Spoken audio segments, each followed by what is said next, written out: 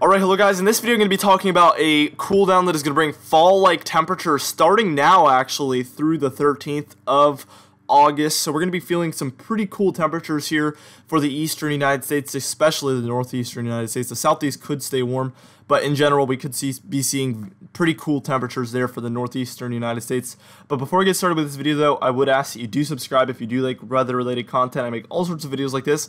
And also make sure to check out the links in the description and the pinned comment for my social medias. Now let's get right into things. We're looking at the ECMWF ensemble model and this one doesn't update update every day, so keep that in mind. This updated on the 5th, and we're looking at the 10th through the 17th. Even though the time frame we're talking about is from the 7th through the 13th, and I'm gonna have a forecast map that I actually made, handcrafted at the end of this video. So stay tuned for that because that's gonna be the most accurate of all of these pictures that I show. But we are looking at the 10th through the 17th on the ECMWF ensemble model, and notice those warm temperatures first off for Texas, Oklahoma, Kansas, and New Mexico. We have a really big ridge there that looks to eventually move east as we head later into the month, so we'll talk a little bit more about that later in the video, but what I want to talk about right now is the colder temperatures there for Montana, into the Dakotas, Minnesota, Great Lakes, and the northeastern United States into New England, where we have two to four degrees below average Celsius. This isn't the coldest time frame that we have on this entire video, don't worry, because this isn't too far below average, though New England in this would be feeling quite cool and feeling fall-like temperatures, most likely lower 70s in this time frame, in this seven-day time frame, lower 70s, very possible for highs.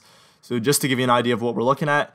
And then you can see by later in August, so 23rd through the 30th, we have very warm temperaters for that middle portion of the United States. Again, Texas, Oklahoma, Kansas, and then eastward also. This would extend into the eastern United States. Very interesting stuff. And then it shows a cool down there for early September. Obviously, I don't know how accurate this will be as it's 30 days out. I just wanted to show that right now, the EPS model, which is again the European ensemble model, is showing a little bit of a cool down there for the beginning of September. We'll have to see how that plays out over the next month and, and see if that continues to show that. Anyway, we're moving on to our GEFS model, which is the GFS ensemble model. So changing up models a little bit, and this one's for the 11th through the 16th, and this one up, updates daily. So this one's a little bit of a newer model run, and you can see from Montana into the Dakotas, into this one extends a little bit further south. So Nebraska, Iowa, Missouri, Illinois, Indiana, uh, Ohio. You're feeling this a little bit more on this one as well as Maryland, Virginia, Delaware, DC. So it, it, extends a little bit further south, but you can see we're still expecting very cold temperatures there for the New England states as well as the Dakotas, Minnesota, Wisconsin. All of us are feeling quite cool by this point. Again, lower 70s and then lows in the lower 50s, most likely for a lot of regions here. So very, very fall like pattern, or at least like a late September pattern here uh, that the that the models are showing as of right now, and this is very short range. You know, this is within 200 hours on a temperature anomaly forecast, so this isn't very long range at all. So keep that in mind as well. But North Dakota, Minnesota, South Dakota, Montana, and then the New England and upstate New York uh, state area. That's going to be the two coldest regions according to this model. And then you can see from the 13th through the 18th, we still have a cooldown. I'm going to have a video on this time frame, like after the 14th. I'm going to make a specific video for that, probably tomorrow or the next day, kind of talking about our next big cooldown. And that's going to be the next one we're going to be talking about because I haven't really made a forecast video for that time frame. And that's going to be interesting to talk about because we will be seeing below average temperatures for this time frame in the eastern United States and the north central United States and you, as you can see, it is pretty far below average, 4 degrees below average Celsius or more, which will be, again, pretty noticeable and feel like early fall at least. So stay tuned for that video. Now we're looking at actual air temperatures, and you can see this is for the low temperature, and again, I was talking about lower 50s for a lot of regions, so in, in Minnesota, Wisconsin, Michigan, Iowa, northern Indiana, northern Illinois, northern Ohio, West Virginia, Northern Virginia, Pennsylvania, up into New, York, upstate New York, and the New England states. Again, lower 50s, not too crazy here. And, and that, that will feel like fall. I mean, lower 50s, you're starting to talk about almost feeling like seeing your breath. So that's just to give you an idea of what we're looking at here. And you can see in very far northern Maine there and very far northern New Hampshire and Vermont. We're talking about almost upper 40s, so very, very cold temperatures there for this time of year. And that's on the 10th. So this is the low temperature from the 9th, the night of the 9th heading into the 10th. And then you can see our high temperatures the next day during the 10th. So Saturday, August 10th is again in the lower 70s for a lot of regions. 75 for Wisconsin, but really 70s all over the place. Uh, there for Ohio, Indiana, lower 70s, lower 70s for Pennsylvania, upstate New York, upper 60s for some of the mountains, as well as Vermont, New Hampshire, and up, upper Maine. We're looking at mid 60s. So, again, pretty fall like temperatures there for all of these reason, regions that I just mentioned because very, very cold. And also, talking about that warm up there for the central United States, notice we're seeing a lot of 100s or upper 90s there for Texas, Oklahoma, Kansas, New Mexico. This this death ridge, I guess that's what they're calling it now. Uh, that's that's centered over you guys, or that very strong high pressure system. That's bringing very, very, very warm temperatures for you guys, and that looks to eventually head east. Bad news for us in the east is people. A lot of people don't want you know upper 90s or 100 degree temperatures. It is possibly on the way. Now, here's my official forecast map again that I was talking about for the temperatures from the 7th through the 13th. And I'm going to break it down region by region. Now, first off, notice that we have some slightly below average temperatures there for Oregon, Nevada, Arizona, uh, California. I almost said Colorado.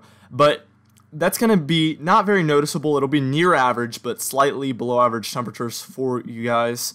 Then we have our warmer than average temperatures, which, which extends from the Rockies in southern Montana into Wyoming, down into Colorado, down into New Mexico. And again, it gets very, very warm as we head into New Mexico, Kansas, Oklahoma, Texas, as we see the third shade of red show up. I don't usually pull that one out, the third shade. I, I don't pull that out for everything. And I did decide to show it for this one because I think it's going to be very, very, very warm for you guys, if not even very hot, almost scorching uh, for Texas, New Mexico, Oklahoma. So be on the lookout. It is going to be very hot and also very dry. No precipitation basically over the next few days for you guys.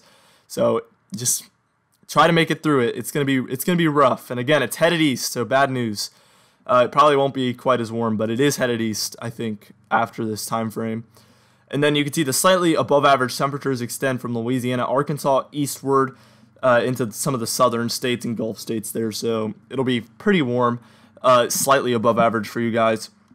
And then we have our below average temperatures, the, the area that this video is basically made for, from Montana down into South Dakota, Nebraska, Kansas, Missouri, eastward, all the way to the East Coast. So Kansas or Kentucky, Virginia, northern North Carolina, northern Tennessee, all of these areas northward are going to be slightly below average. So the Great Lakes, New England, upstate New York, Pennsylvania, New Jersey, up the East Coast. And then we have our two areas of, you know, more below average. So the Dakotas, Minnesota, Iowa, and then also Michigan, Ohio, West Virginia, Pennsylvania, New York. These are going to be the areas that are more consistently cold and also have the more below average temperatures. These are the areas where, again, we could be talking about lower 50s for you guys in the lows, and then upper or lower 70s as highs, which again is pretty fall like for a lot of you. I mean, Minnesota, North Dakota, and Michigan, maybe that's not too crazy. But as you head into South Dakota, Iowa, Ohio, Pennsylvania, West Virginia, it's getting uh, pretty fall like. I mean, we've seen cooldowns like this in the past, obviously, but it's just pretty notable as it's going to be a really good relief from the summertime temperatures and it's going to feel a lot like fall and probably get a lot of you that do like fall pretty excited for fall time as it's going to be kind of a sneak peek into those colder temperatures. I know that always happens to me when we have a cool down this time of year. I'm always just getting super pumped for just feeling a little bit more crisp and getting ready for fall, you know, bonfires, all sorts of stuff. Football, football's coming up. I cannot wait for football. Uh, actually, let me know in the comments what football team you guys like. That's a good question. What is your favorite NFL team? How about that? Viewer question of the day. Uh, anyway, guys, I hope you really, really enjoyed this video. Uh, I hope you enjoyed the forecast map at the end too. I'm trying to bring more of my original maps that I handcraft into the videos. I'm trying to show more of those because I feel like uh, it's it's more of like what I'm calling for. Instead of just telling you guys, showing the model runs, and then telling what I disagree with or agree with, I decided that I'm I am still going to show the models, but at the same time, I'm also going to handcraft my maps and show what I'm actually thinking and put it on screen because it's it's easier to visualize it. I think for you guys. So let me know what you think about that. I've been making more of the maps that I draw and being a little less lazy, I think, because it takes more work, but I've decided that more work is kind of better at this point. So anyway, guys, I hope you really, really enjoyed this video, and I hope to see you in the next one. Again, a new video coming up for the big cooldown that's coming up after the 13th, because this one's from the 7th through the 13th. And there's going to be another video coming out for the next cooldown after that, which is the 14th and beyond. So stay tuned for that one. Anyway, guys, have a great week. See you guys in the next video.